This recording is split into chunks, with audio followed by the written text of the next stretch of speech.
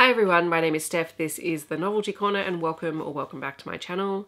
Today I have a new A to Z of romance book recommendation video for you. This is edition 7. And yes, I do count the live shows as uh, editions in this series. So this one is just me and 26 books that I don't think I have recommended in other A to Z videos. I do generally check this, but there may be one or two overlaps, but we'll, fingers crossed, there's not. For anyone who is unfamiliar with the series, I will leave the playlist up on the screen. This is basically where I literally recommend a book for every letter of the alphabet. The rule for me is that the letter of the alphabet has to be somewhere in the title or the author's name. This is because there are some very tricky letters in the alphabet to find books for, so I do accept that. Occasionally I will accept it in a series name if the series is actually on the front cover.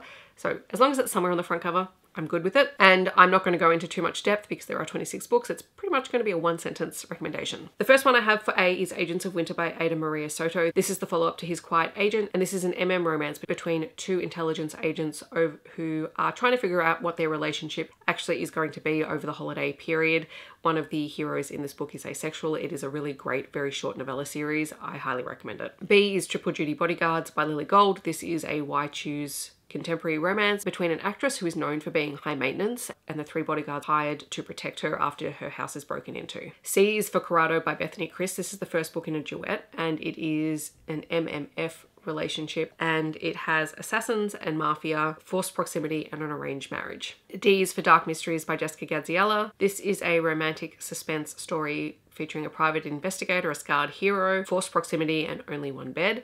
Content warnings, though, in this one for domestic abuse and loss of a pregnancy. E is for Egotistical Puckboy by Eden Finley and Saxon James. This is book one in the Puckboys series, and it is an MM hockey romance featuring a one night stand and an antagonistic relationship between two hockey players. F is for A Lady for a Duke by Alexis Hall. This is a historical romance with a transgender heroine who falls in love with her best friend. G is for The Worst Guy by Kate Canterbary. This is the second book in, oh my gosh, what's the series called? The Vital Signs series. And it is the relationship between two doctors who find themselves in mandatory conflict resolution counseling after incidents at work. And it is their relationship. It is an enemies to lovers workplace romance. It does feature chronic illness representation, including migraines and inflammatory gastric diseases, but content warnings in this one for a history of disordered eating. H is for Hairpin Curves by Elia Winters. This is a sapphic road trip romance, which is frenemies to lovers, and on this road trip they get snowed in and have to share only one bed. I is for Inheritance by Katrina Jackson. This is a small town contemporary polyamorous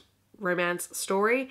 It is steamy and queer as all get out and I'm pretty sure it's novella length so it's a very easy read. J is for Hard Job by Annabeth Albert. This is an MM contemporary romance between a bodyguard and a rock star. It has an age gap and it is also a brother's best friend story. K is for Silent Knight by Evie Mitchell. This is a contemporary Christmas novella that has very much a Roy and Keeley fanfic vibe to it, but make it a princess and a bodyguard set in Alaska with only one bed. L is for A Lesson in Thorns by Sierra Simone, which is a very gothic, dark academia feeling romance. There is a group of friends. The series mostly centers around a triad within that group of friends, but everyone is queer as all get out. And in true Sierra Simone style, there are some very intriguing rituals and things that are happening when all of these friends are forced together 12 years later after being separated for that time period. M is for Boyfriend Material by Alexis Hall. This is an MM contemporary romance. It is traditionally published and closed door, but it features a fake relationship between the hot mess son of a rock star and a very straight-laced hero. N is for Little Taste of Need by Clio Evans. This is part of the Monster Cafe series. This is a sapphic novella featuring a female Naga and a human who find themselves being match made together. Is that even a thing? Match made? I don't know. Oh, o is for the Into the Woods anthology. This is a collection of monster romance novellas and short stories. There are so many diverse characters, sexualities, representations in this book. It is great. It's a really great starting place if you want to try out monster romance because you just want to see what kind of stories you like. It was great. P is for The Payback by Julie Weaver. This is book two in the Team Zulu series. This one is a romantic suspense featuring an ex-Special Forces hacker who finds out that his next door neighbor is trying to take revenge on a mafia slash mob like entity for targeting her family, and so he steps in to help. Q is for Squall Line by Gwyn McNamee. This is book one in the Inland Sea series. It is basically a pirate kidnapping someone off of her own ship and then the two of them falling for one another. R is for The Rise of Ferryn by Jessica Gadziala.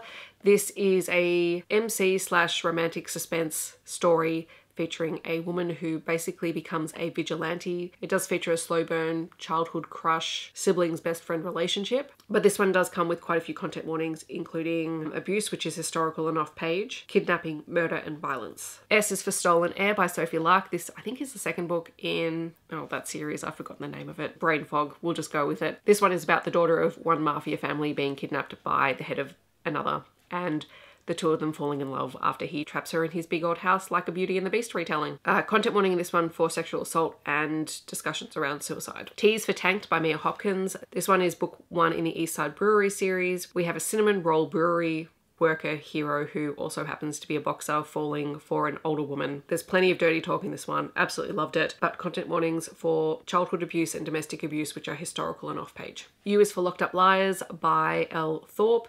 This is the first book in the St. View prison series, and this is a why choose romantic suspense story between a prison guard, a lawyer, an inmate, and a teacher. And I mostly like this series because one of the other inmates in the series is just a very intriguing character and he gets his story in the next trilogy. V is for Variant Lost by Kaydence Snow.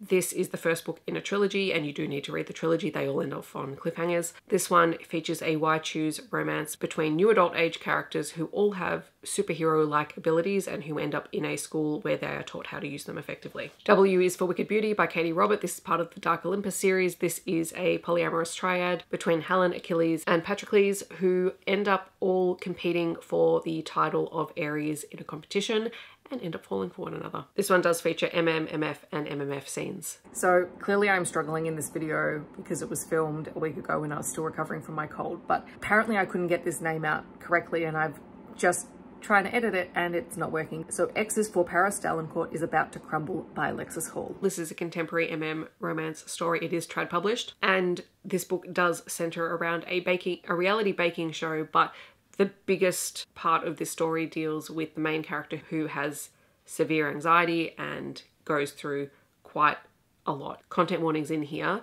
This book triggered me and I love it, but it triggered me in an extreme way. So I'm always very cautious when recommending it because it is a fantastic book. Alexis Hall does a great job with writing it, and the anxiety representation on page is amazing and very realistic and a lot. So just be aware of that. But it is set in the same world as Rosalind Palmer Takes the Cake. So if you enjoy that, you might enjoy continuing on with this one. Why is With You Forever by Chloe Liese, which is my favorite book in the Bergman family series. This book features a marriage of convenience between a heroine who has a chronic illness, a hero who is autistic, and their desire to see the renovations on the Bergman family A-frame complete. It's so sweet and lovely and just these two characters are precious and I love them a lot. It's also Grumpy Sunshine and just delightful. And Z is for the Hellions Waltz by Olivia Waite. This is a sapphic historical romance between a piano teacher and a woman who is planning a grand heist. So that's it for this round of A to Z romance recommendations. In the comments, I'd love to know if you've read any of them or if you're planning on picking any of them up. If you want to let me know that you're here but you don't leave a comment, feel free to leave a key emoji down below. Otherwise, I hope that wherever you're on the world, you're staying safe and healthy and I will see you in my next video. Thanks so much for watching.